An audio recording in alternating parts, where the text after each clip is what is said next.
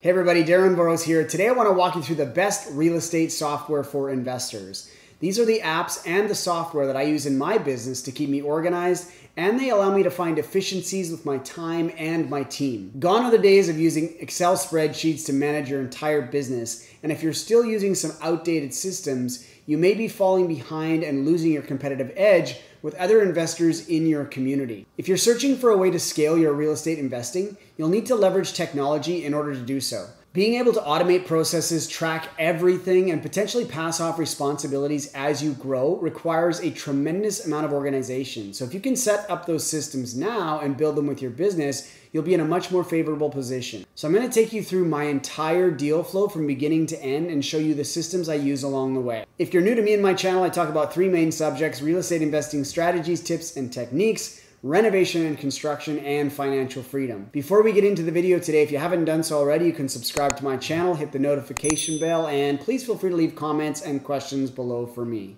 And without further ado, let's get into it. Before we jump into the software that I use, I want to explain a little bit about how my business works for those of you that are not super familiar with it. Hopefully, that will give you some context as to the technology I use and why. I also want to let you know that just because I use this software doesn't mean it's the only thing out there. And I also want to make it clear that I have no affiliation with any of these products. I am just a user and a fan.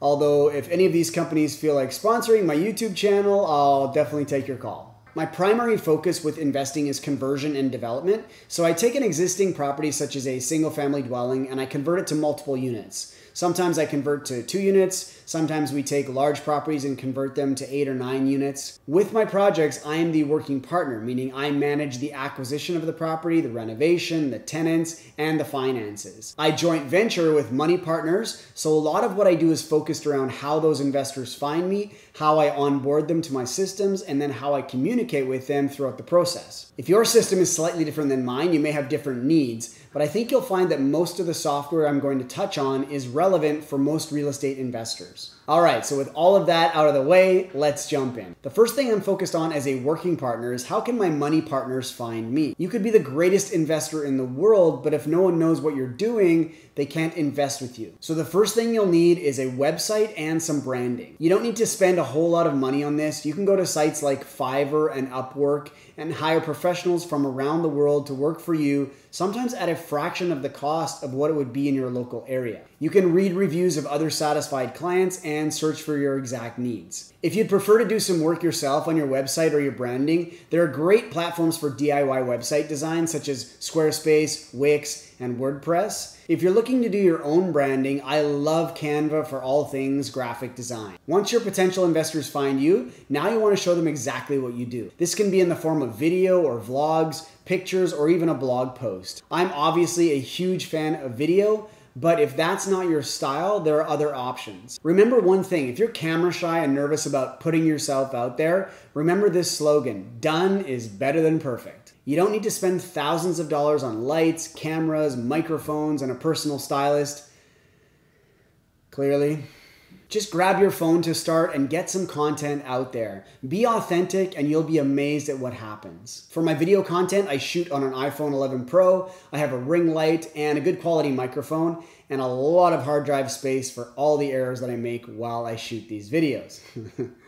I edit my videos in iMovie on my Mac and I use Canva again for my graphic design and titles. I'll leave a link in the description of all the gear that I use to shoot my videos. Now that your potential investors have found you and you've shown them what you're capable of, now you want to capture their interest and their information. I like to do a call with interested investors and setting appointments can be tricky at times with everyone's busy schedule. I use Calendly and block off times in my calendar for appointments and then send out my Calendly link to potential investors to set up meetings that are convenient to them. In the paid version of Calendly, it automatically syncs with Zoom, so we can set up a Zoom call if necessary. And speaking of Zoom, this has become a vital part of my business. Connecting with investors has become very simple with video conferencing. There are many options such as Zoom, Google Meet, Skype, or even FaceTime, and each platform has its advantages and disadvantages. After having a chance to connect with investors, I like to track the conversations and emails going back and forth. I do this through HubSpot, which is a CRM, a customer relations manager. In my CRM, I can put notes in about each investor, set tasks to follow up, track emails that go back and forth, and organize investors for each project that we're working on. To communicate with investors, I use an email marketing tool.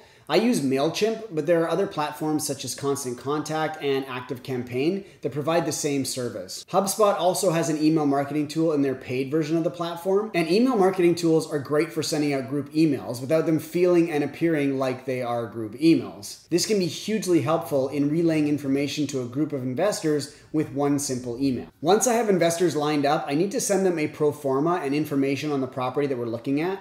For that, I use DealCheck. DealCheck gives me three options for analyzing numbers on a real estate transaction. I can run through BRRRRs, which are buy, renovate, refinance, rent, and repeat. It also breaks down flips and buy and hold transactions. I find DealCheck is very robust and can be customized to analyze a variety of scenarios. It also produces great reports that my investors find easy to read and to follow. After my investors have looked at the numbers, have met with me, and are interested in moving forward, our next step is to drop some legal contracts. I can do this with my lawyer, but at like $5,000 an hour, this can get expensive.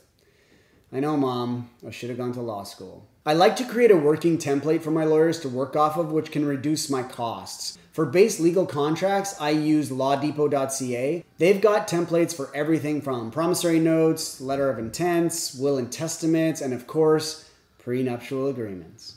Including prenuptial agreements.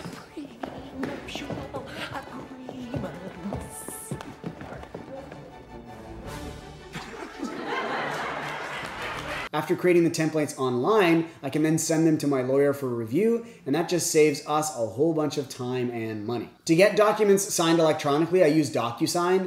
This is so helpful for being able to send documents via email and having them signed digitally. I use this for my legal agreements, my leases, my intake forms for my coaching program, and my tenant applications. It's a huge lifesaver. Once I have my investors in place and all the legalities out of the way, now it's time to actually get to work on the properties. For project management, I use Monday.com. Monday is a centralized location where all of our documents can be stored. We can schedule our project timelines, we can assign and track tasks to anyone on our team, and my investors can view everything going on throughout the entire acquisition and renovation process. Tracking all of our spending is done in QuickBooks.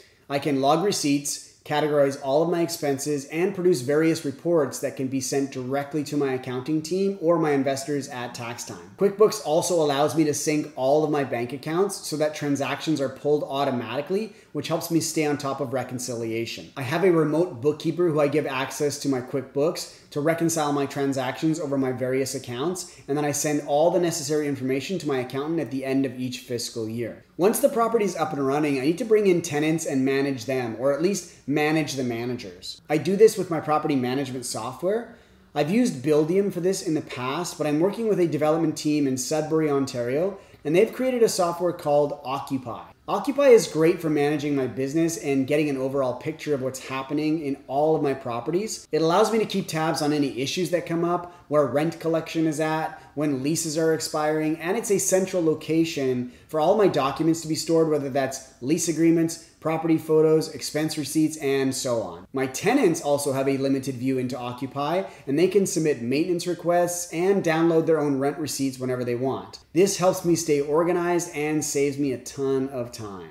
And finally, one of the last steps, and one that's often overlooked by many investors, is reporting and feedback. Keeping your investors informed on the properties on a quarterly basis or whatever frequency you decide can separate you from other investors. Gathering feedback is something that can really allow you insights into how your partners feel about working with you and what you can change and adjust on future transactions. And of course, for your investors that are incredibly satisfied, which hopefully should be all of them, you'll want an opportunity to ask them for a testimonial to you and your business. This can be done in a variety of forms, whether it's your CRM, your email marketing platform, or something specifically built for gathering feedback such as a program like SurveyMonkey. As you can see, technology and systems play a huge part in my business and they can help you stay organized and look professional to your investors. For that reason, I'm always trying to stay on top of new platforms that are available as new tools for investors are being created daily. The software I use today can quickly be replaced with something better tomorrow. If you're using a specific software that I haven't mentioned in your real estate investing business,